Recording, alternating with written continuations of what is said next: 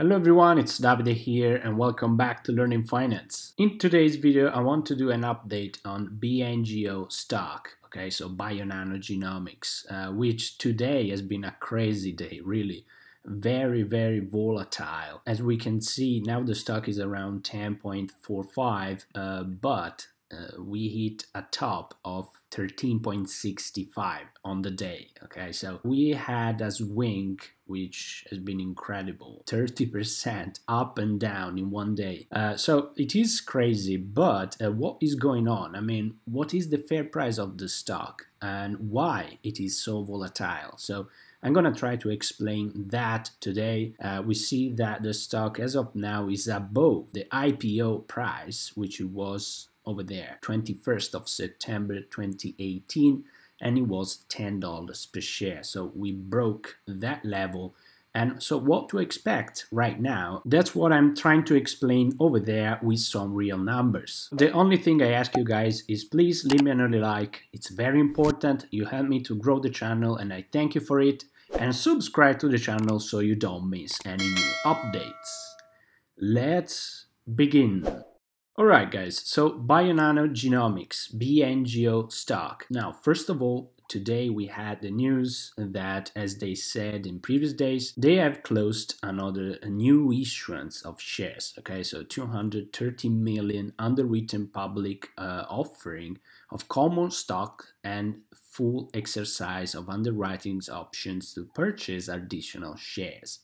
Um, they have done that around $6 per share. And it's pretty normal it's obvious uh, the the company is losing money so as I said in the previous video, that's the only option that they have. They can do that or raise more debt. But uh, at the end of the day, when you're losing money and you're not profitable, you need new capital. And considering the success that the stock is having right now, so the high valuation that the stock is having right now, it is very normal to do um, new issuance. Okay, so that's great. If you are invested in this company, uh, dilution is pretty normal, as well as all all the other companies which are not profitable yet. If you remember from previous videos, we went through the market opportunity, and I have said that in terms of a big investment, I was not comfortable to invest in these companies uh, because it's very difficult to really understand what they're doing. Most of all, understanding whether a product is definitely better than the competitors. Okay, so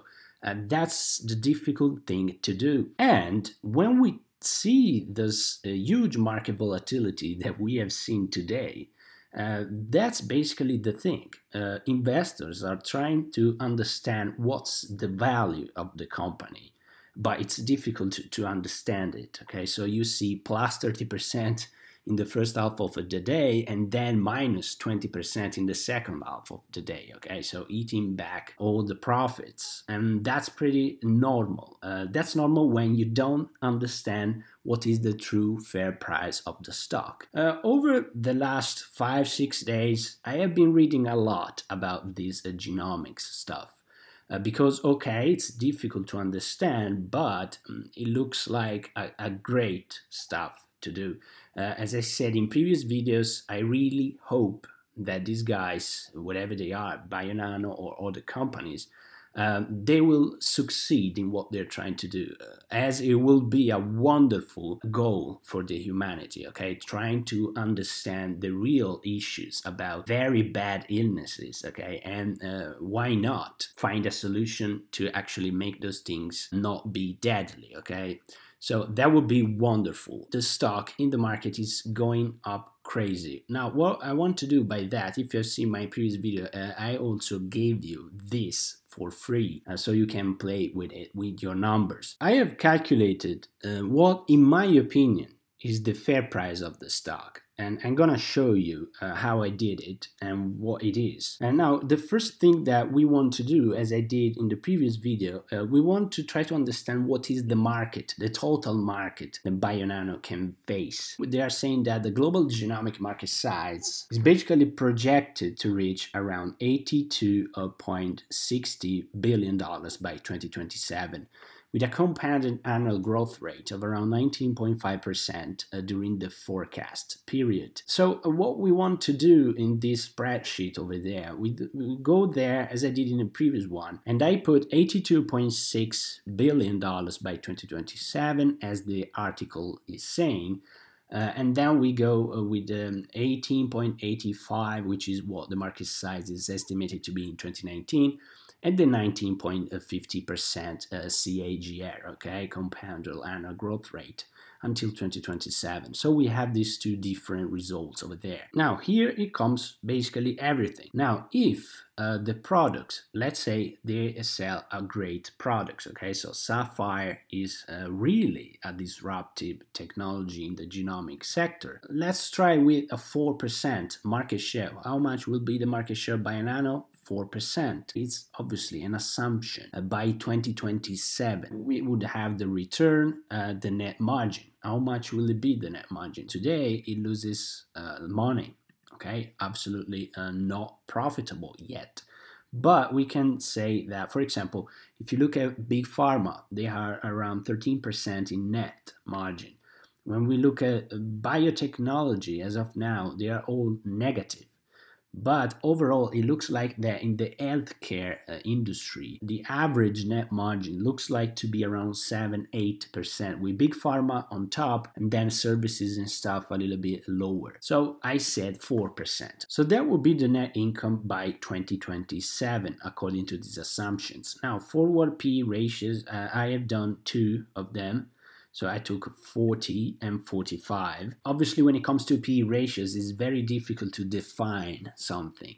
However, if you look at the, the Peter Lynch's book, he says that at some point in the time, uh, a stock should be priced, a growth stock should be priced around a 40 P ratio. Okay, so the range between 40 and 50 can looks okay for a very high growth innovative stock like Bionano. So that would be the market cap by 2027 according to these assumptions. Different scenario, the 2027A and the 2027B. So uh, between 5 and 6 billion dollars by 2027. Now if you take a discount rate quite high, okay, 14% to be a little bit more conservative, uh, that would be the market cap today 2.14 billion 2.5 billion depending on uh, the scenarios that you take. Shares outstanding updated uh, with basically the new uh, share issuance that they have just closed. Those will be the fair prices. So in the 2027a uh, we will have uh, $7.88 per share, while in the B scenario, 9.34. The thing is, guys, uh, why is the market going crazy? Because if Saphyrs is really disruptive, okay, as they say. And in terms of numbers, for example, let's say it's really disruptive, and instead of a 4% of the market, uh, which that would be obviously a great product, but now let's make it this scenario of a disruptive product okay? So something that is really better than anything else. And let's say is able to take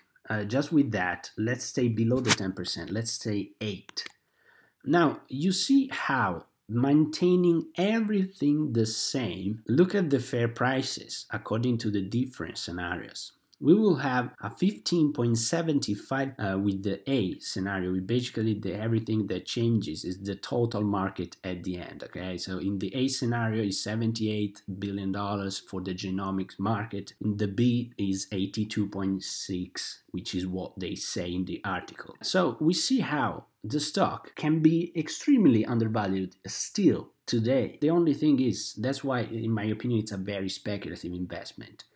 Uh, how do you define this? There is only a way, uh, and the way is trying to understand in reality how much of a disruptive technology is the Saphyr system. Okay, that's it. Uh, if you believe that, for example, the, the system is not great enough, there are gonna be better things in the future, and then you presume just a 2% of the market share, and then look at the fair prices, okay? Stock will be extremely overvalued.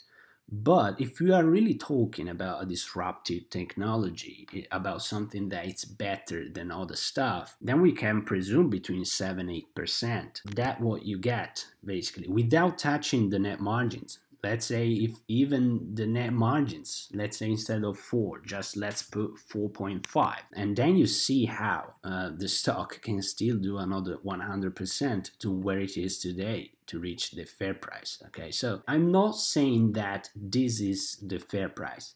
I'm saying that uh, the reason why the market is going crazy every day, plus 30%, plus 15%, minus 20%, is because investors are trying to understand this what is gonna be. So as long as we really don't understand exactly that, we can expect an extreme volatility in the stock price. Now, according to the researches that I have done and the different scenarios that I have uh, tried with the spreadsheet, I came out with this valuation. Okay, so uh, the normal scenario, in my opinion, the normal scenario I have considered a 4.5% uh, market shares for BNGO, okay, and uh, a net margin of 4.5%.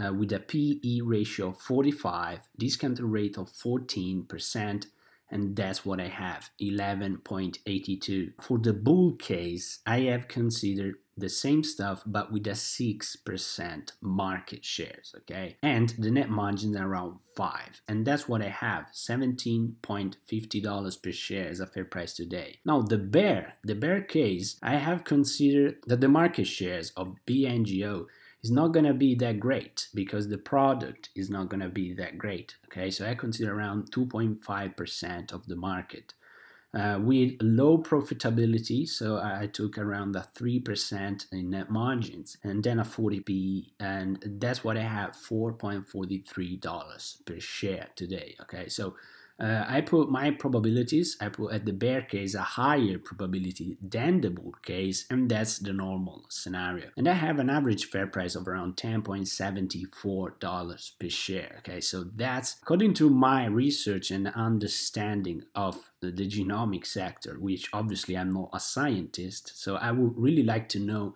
uh, your fair price that you'll find uh, I find $10.74 per share. That's the end of the video guys. Just tell me down in the comment, try to download this and put your numbers and let me down in the comment what's your fair price for the stock. Subscribe to the channel and as always guys, have a wonderful day.